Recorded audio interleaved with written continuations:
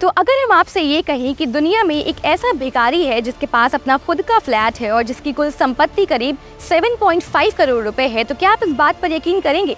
अगर नहीं तो आज हम आपको दुनिया के सबसे अमीर भिखारी के बारे में बताएँगे। मीडिया रिपोर्ट्स के मुताबिक, मुंबई में रहने वाले भरत जैन भारत की नहीं, बल्कि दुनिया के सबसे अमीर भिखारी हैं जो मुंबई की सड़कों पर भीख मांगते हैं। भरत आर्थिक तंगी के कारण पढ़ाई पूरी नहीं कर पाए। आपको बता दें कि भरत शादीशुदा हैं और उनके दो बच्चे भी हैं जिन्होंने सफलतापूर्वक अपनी पढ़ाई पूरी कर ली है रिपोर्ट्स के अनुसार भरत जैन की मासिक कमाई साठ हज़ार से लेकर पचहत्तर हज़ार रूपए के बीच है भरत के पास मुंबई में 1.5 करोड़ रुपए के दो फ्लैट भी हैं। उन्होंने थाने में दो दुकानें भी खरीदी हैं जिससे उन्हें तीस हज़ार रुपए की मासिक किराए की इनकम होती है।